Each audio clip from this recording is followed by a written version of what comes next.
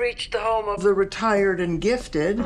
Where are you? I'm in a church. What? Are you serious? We're looking for a venue for the wedding. You are going to get married in a church? I'm shocked you didn't burst into flames as you crossed the threshold.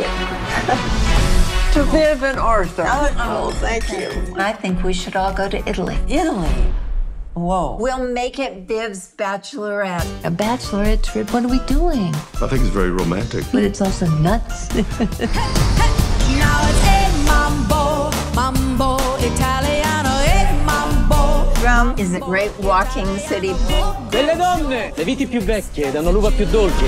What did he say? The older the vines, the sweeter the fruit. Oh, yes, we still got it.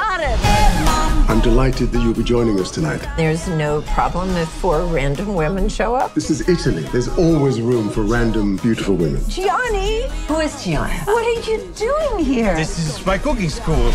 Wow. Uh, I'm here to start an amuse bouche. I think somebody's bush is already quite amused. it's too bridal. It's not bridal enough. Gorgeous! Someone else next. Don't move. What are you doing? That would be me. We're best friends for 50 years. And you? Married.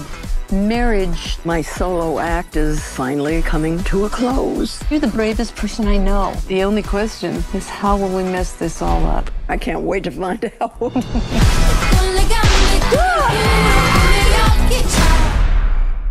Is it too soon to talk about who we're going to eat first? I think we all know. Hey,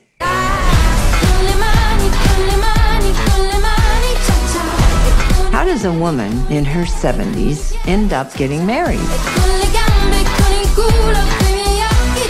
She takes control of her own destiny.